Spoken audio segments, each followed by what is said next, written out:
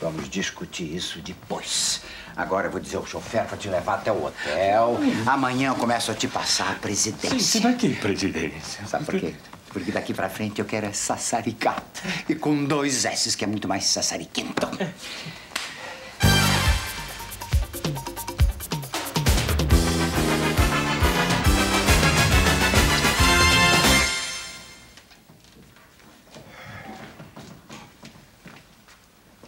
Boa noite, senhoras. Boa noite. Aconteceu alguma coisa com seus olhos, seu Ricardo? Não, não, é só um cisco. Passa, passa já. Não, um... Ah, essas coisas podem ser perigosíssimas. Sim. Oh, Se o senhor quiser, eu posso buscar um colírio. Sim. Não é necessário, Fabiola. O senhor Ricardo de Pádua está com muita pressa. É, sim. Arruma essa peruca. Está completamente torta. Disse que eu não uso peruca. Não parece. Já vou, Ricardo. Por que, que você é assim tão oferecida, hein, Fabiola? Oferecida por quê, Jararaca? Ora, porque sim, Cascavel. Se você está pensando que um tipo como esse, do Ricardo de Pádua, vai te dar trela, minha filha, vai tirando o cavalinho da chuva. Não sei por quê. Ele é a cara do meu ex. O jeitão dele. O tamanhão dele. Você não imagina como eu fui amada. Aquele homem fazia tudo por mim. Contar essa história pra outra, Cascavel. O que o seu ex fazia era dar muito supapo nessa cara, sabe? Amada. Você foi é espancada até sangrar. Ridícula. Un bel di vedremo. Jararaca. Um bel di vedremo. Ridícula. que foi, meu bem? Ah, essa é Fabiola, imagina. Ridícula. Ela está interessada nesse tal de Ricardo de Pádua. Nós não podemos deixar que isso aconteça. Se a Fabiola domina o Ricardo, eu, estou frito lá na fábrica, Lucrécia. Não, de forma alguma. E depois, você que tem que ser a próxima presidente das tecelagens da Vidala, não sua irmã. Ora, acorda, Prígio. Então você acha que ela vai ter algum sucesso com esse tipão daqueles? Nunca se sabe, né, meu bem?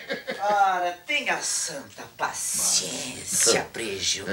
Meu leite. Seu leite tá Vai, vai, meu leite. Já, já vou te dar. Ah, eu quero leite porque eu tô muito nervosa. Olha, o leitinho, leitinho. Upa, tá ótimo o leitinho. Olha, foi o Arivaldo que trouxe.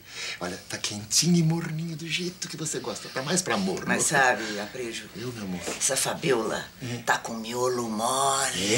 É, toma, toma, toma, toma. Toma, toma, toma. Três, três, três. Arrada, arrada, arrada, caranguejo, peixe. É mais um pouquinho, mais. Pera, pera aí. Vai, vai. Hum, tá gostoso. Ai,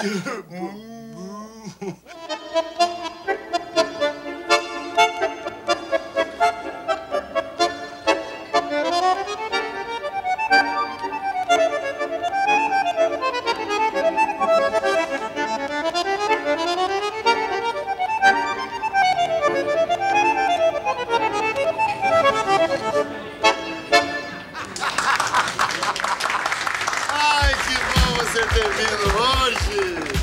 Ai, normalmente às terças-feiras você não vem, então é dia de você visitar sua mãe, não é mesmo? É, Brigitte. Mas hoje eu fiz questão de vir pra me despedir de você. Sabe o que é? Eu vou sair daqui e da fábrica. Mas por que, Brigitte? Ah, eu tô cansada, viu, seu aprisco? Sabe o que é? Lá na fábrica tá maior confusão. E eu ando de um lado pro outro, feito barata tonta. Aqui na boate, a sua filha vem namorar o Guel na minha cara e eu não posso fazer nada. Que? Não é porque eu sou mulher de boate, né, seu aprisco? Eu não sou gente também, né? Ah, deixa de bobagem. Essa história do Guel e da Camila é uma bobagem, não é? Eu dei um pito nela. Jura? Juro! Eu queria que você tivesse visto. A Camilinha pode parecer muito moderninha, mas morre de medo de mim.